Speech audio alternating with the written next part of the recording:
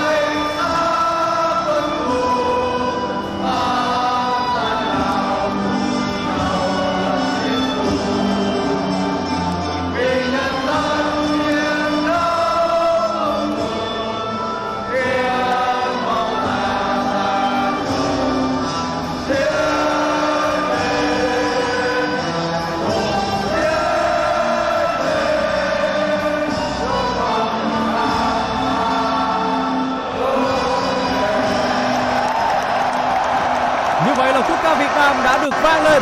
Chúng ta hy vọng